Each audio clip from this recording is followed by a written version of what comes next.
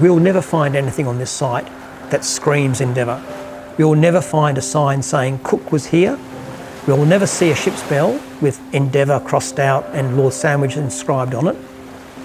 It's an interesting process. Archaeology is an interesting process, and it's a process where we call the preponderance of evidence, where we've got a whole series of things pointing to RI 2394 as being HMB Endeavour. And so far, we found lots of things that tick the box for it to be Endeavour, and nothing on the site which says it's not.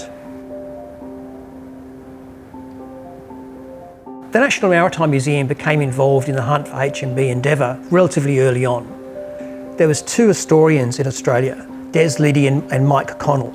They had actually figured out that HMB Endeavour had become a vessel called the Lord Sandwich and had been lost off the coast of America during the American Revolutionary War. An historian in Rhode Island, a woman by the name of Dr. Kathy Abbass, she was investigating a series of shipwrecks in Newport, Rhode Island. Those wrecks were associated with the siege of Newport in 1778. One of those wrecks was a vessel called the Lord Sandwich, and she had read the article by Des Liddy, and she thought, hey, I wonder if it's the same vessel.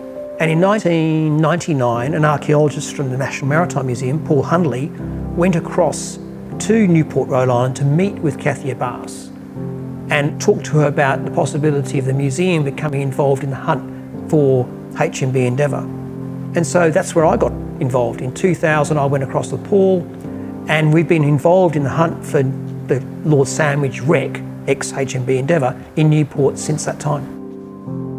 I've been involved uh, with the investigation of RI 2394 since 2017. That's included traditional recording methods for archaeologists, which is measuring timber sizes, trying to get a sense of what's down there. Uh, you know, what, how much of the hull is left, what specifically do we have, and is there anything within that shipwreck that we can match to our historical knowledge of Endeavour.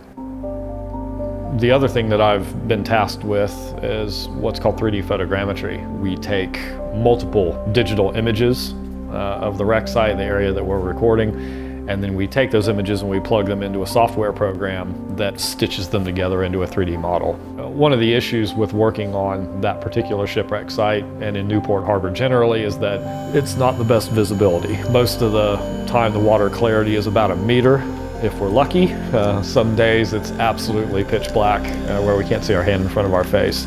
So it's hard to get the details that the program needs to stitch the images together. I Can't believe how tiny this is in places. Yeah, I know. Look at this space. Isn't Much nicer. Much more headroom. Yeah, a lot more headroom. Yeah, Cook would have been grateful for this. Endeavour is fairly well historically documented. So we have all of the information that was recorded by the Admiralty in 1768. And when they modified the vessel for Cook and Banks, they put in the shot locker for a start, and then they put in the magazine complex because they didn't have one. We have a listing of the size of timbers. We have plans that show the hull, um, both from profile, from overhead, each deck.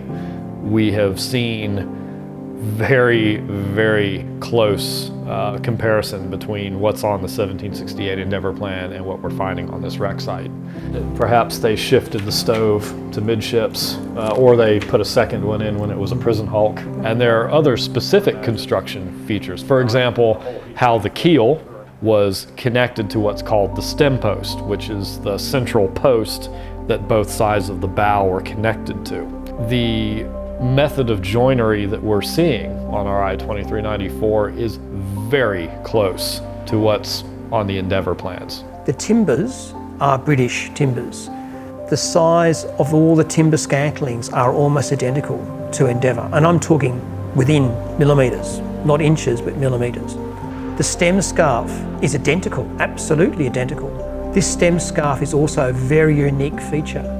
We've gone through a whole bunch of ships' plans, lots of 18th century plans, and we can't find anything else like it. Given that Lord Sandwich was intentionally scuttled, uh, it was sunk on purpose as a block ship, the chances of finding artifacts that would provide an immediate identification, such as a bell, were very unlikely to see.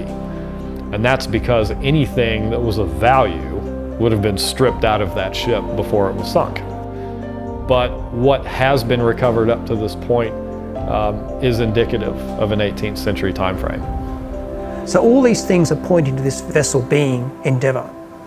But all archaeological theories are open to discussion and review. We have a limited number of lines of evidence we can use, and because of that, we have to be thorough. We will get all our facts together, put them into a scholarly publication, and then put that publication out to review, not only from archaeologists from America and archaeologists from Australia, but also archaeologists from Britain who are used to working with 18th century wooden ships. Not only archaeologists, but scholars on Endeavour, historians, people who have done serious deep dives into the historical evidence.